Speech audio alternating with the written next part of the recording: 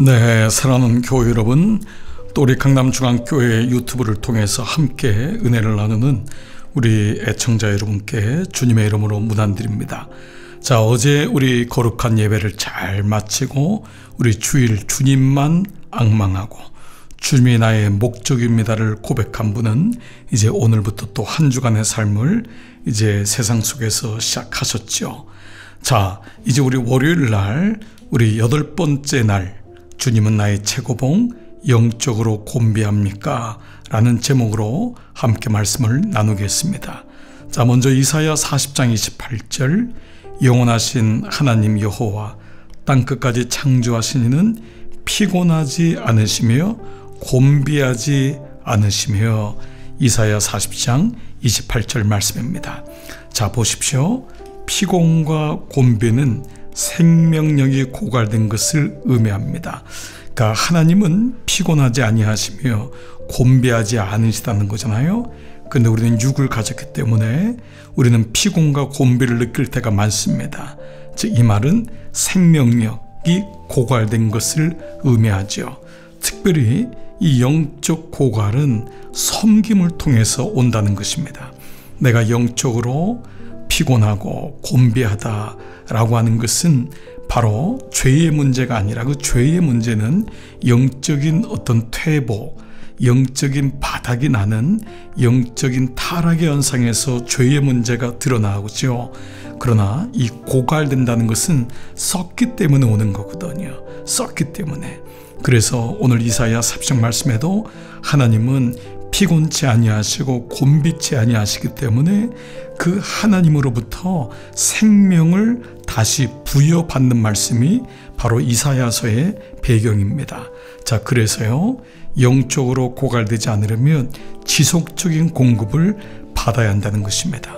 섬기는 사람, 특별히 영적인 아비 된 사람, 여러분이 이미 부모의 자리에 있거나 여러분이 누군가를 양육하거나 우리가 이미 그리스도인이 된다는 것은 다른 비그리스도인들에게 복음을 보여줘야 되고 전해야 되는 거잖아요. 그런데 우리는 영적인 고갈이 될 때가 많죠. 썼기 때문에. 그때마다 뭐라고 하죠? 지속적인 공급을 받아야 한다는 것입니다. 예수님께서 베드로에게 요한복음 21장 17절 내 양을 먹이라. 먹이라는 건 뭐지요? 예, 그가 가지고 있는 생명력을 주라는 거지요. 그런데 주님은 베드로에게 양들을 먹일 아무 음식도 주지 않으셨습니다. 자, 이 의미를 한번 살펴볼게요. 다른 사람을 위해 찢겨진 빵이 되고 부어지는 포도주가 된다는 뜻은 다른 사람에게 줘야 되잖아요. 그렇죠?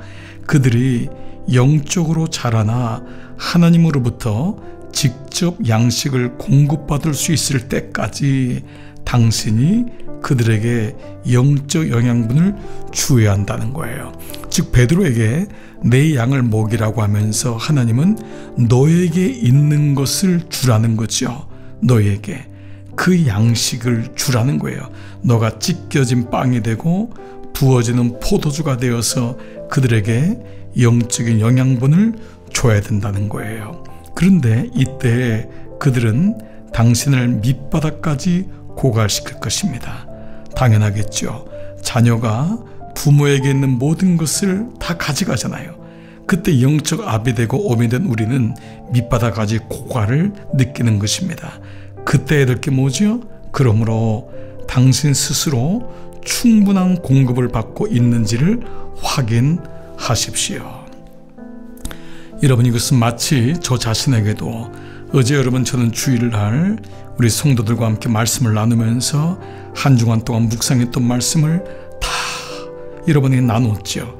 때로 찢겨진 빵이 되고 부어지는 포도주가 되어서 여러분에게 주었어요. 그러면 저에게 느끼는 것은 영적 고갈이 옵니다. 그때 뭐죠? 나는 충분한 공급을 계속 받고 있는지 이것이 바로 저에게는 말씀 묵상의 시간이요 홀로 있는 시간이요. 하나님과 독대하는 그런 계속적인 공급을 받는 시간인 것입니다. 만약에 그렇지 않으면 이것이 없으면 조만간에 완전히 고갈될 것입니다. 그래서 주님과 홀로 있는 시간이 그렇게 귀하다는 거예요. 나는 주님으로부터 받고 있는가? 아니면은 우리는 줄 수가 없어요. 주님으로부터 계속 공급받는 것을 느껴야지만 그것을 계속 그것을 채워줘야지만이 나는 줄 수 있고 그리고 부서지는 빵이 되고 부어지는 포도주가 될 수 있다는 것입니다. 다른 사람들이 영혼들이 주 예수님의 생명으로부터 직접 영양분을 얻을 수 있을 때까지 그들은 당신을 통해 영적으로 공급되어야 됩니다. 그래서 봐라 여러분 이것이 양육자의 삶이에요. 이 영적 아비 된 자의 삶이에요. 그 사람들이 장성한 분량에 이르기까지 누군가를 통해서 바로 그리스도를 공급받고 소개받아야 되기 때문에 그렇죠. 자 보십시오. 즉 그들이 하나님께로부터 영양분을 취할 수 있을 때까지 당신은 그들에게 영양분을 주어야 됩니다. 따라서 우리는 하나님과 주님의 양들을 위해 주께로부터 최고의 영양분을 공급받아야 합니다. 왜냐하면 주님은 피곤치 아니하시며 곤비치 아니하시는 영원한 생명을 받은 분이기 때문입니다. 자, 이 질문을 한번 여러분 들어보세요. 하나님을 섬기면서 영적으로 고갈되어 있습니까? 여러분 어떻습니까? 실제로는 많은 리더십들이 이런 고갈 현상을 많이 느낍니다. 사람들에게 드러나야 되고 때로 앞장서야 되고 그들을 양육하다 보니까 정작 본인은 고갈되어 있는 거예요. 여러분 사도 바울이 뭐라 그랬죠? 내가 전함받은 다음에 버림받을까 두렵다 그랬어요. 내가 많은 사람에게 그리스도를 전하지만 내가 때로는 영적으로 고갈되어 버림받을까 두렵도다. 바로 이것은 모든 리더십들과 영적 아비된 자들이 갖는 공통적인 모습인 것입니다. 그때 우리가 해야 될 것이 있습니다. 모든 관심사들을 모으십시오. 우리의 모든 생각들을 하나로 모으는 거예요. 그리고 내가 어떤 마음으로 봉사를 시작하게 되었는지를 점검하십시오. 당신의 동정심 사람들 때문입니까? 사람들 때문입니까? 사람들은 여러분의 모든 에너지를 다 빼앗아 갈 거예요. 그는 여러분의 에너지를 원할 거예요. 그러나 사람이 여러분의 목적이 된다면 우리는 인간적인 마음으로 인하여 그들에게 복음을 주지만은 채움을 받지 못한다는 거예요. 그래서 예수 그리스도의 구속 때문입니까? 그 십자가의 끝까지 우리는 그 십자가가 목적이 되고 십자가를 바라볼 때에 내 마음이 다시 주님의 사랑 때문이라는 것을 다시 확인하고 우리의 본질적인 사명이 어디로부터 왔는지를 깨달을 때 우리는 그분으로부터 다시 공급받게 되는 것입니다. 그렇습니다. 그래서 당신이 애착을 갖는 이유가 무엇인지를 점검하십시오. 나의 목적은 오직 하나님이십니다. 하나님만이 나의 목적이십니다. 그러므로 내가 영적으로 고갈될 때 다시 그분 앞에 가는 것입니다. 그분을 전하고 그분 앞에 가고 그분께 영광 돌리는 것. 그것이 완전한 생명을 얻는 이유가 되고 우리는 그때 다시 영적 고갈로부터 이어나갈 수 있는 것이죠. 자, 그래서 생명의 근원이 어딘지를 기억하십시오. 여러분에게 생명의 근원은 무엇입니까? 사역의 동기는 사람입니까? 사람이 귀하지만은 그 사람 위에 있는 하나님의 목적이 되어야 됩니다. 이것은 아주 중요한 한 단계 더 뛰어넘는 것입니다. 사람이 우리의 생명의 근원이 되는 것이 아닙니다. 하나님입니다. 사람을 궁히 여기는 마음은 귀한 것이지만은 하나님보다 위에 있으면 안 됩니다. 그래서 당신은 어떤 상황에서도 이렇게 말할 권리가 없어요. 오 주님 제가 지쳤습니다.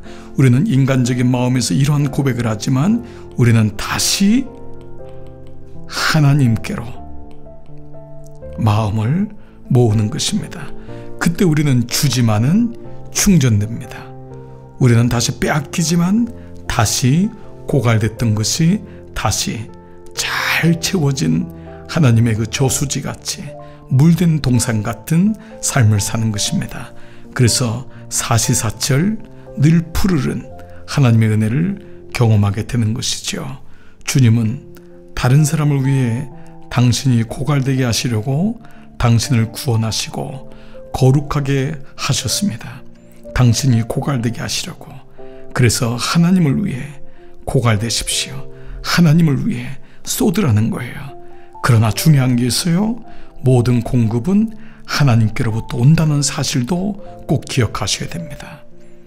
당신은 하나님을 위해 고갈되십시오. 그 영혼을 위해 모든 것을 쏟아 부으십시오. 그러면 하나님이 채워주시는데 우리의 모든 생명력, 공급의 그 원천이 하나님께로부터 온다는 것을 기억하십시오. 사람이 아닙니다. 하나님께로. 시편 87편 7절 말씀. 나의 모든 신선한 샘물은 그분 안에 있다네. 그분 안에 있다네. 자, 여러분 하나님은 어떤 분이십니까? 하나님은 우리가 당신을 위해 고갈되기를 원하십니다. 당신을 모든 사람에게 주기를 원하십니다. 그러나 동시에 당신은 또 우리에게 모든 것을 부어주기를 원하는 분이십니다. 그 영혼을 위해서 쏟아붓고 그것이 하나님을 위해 고갈되는 것입니다. 다른 영혼을 위하여 여러분의 영혼이 고갈될 때 우리는 또 주님은 우리를 채우시기를 원하시는 분이십니다. 그렇습니다. 바로 이것이 우리를 부르신 목적인 것이죠. 자, 나에게 적용할 것은 무엇입니까? 나는 하나님으로부터 공급받고 있습니까? 여러분 언제 그 공급을 받고 있습니까?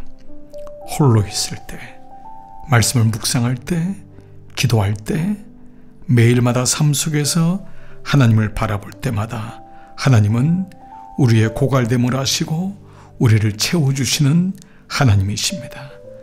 오 주님, 저에게 주님 한 분만으로 가득 넘치게 하옵소서. 주님, 제가 고갈될 때 주님으로 인해 다시 채워지게 하옵소서. 나의 모든 영원한 생명이 그분 안에 있음을 깨닫게 하옵소서. 오늘 여러분, 이번 한 주간의 삶이 그분으로부터 채워지는 그런 놀라운 한 주간이 되기를 기도하겠습니다. 우리 함께 기도하실까요?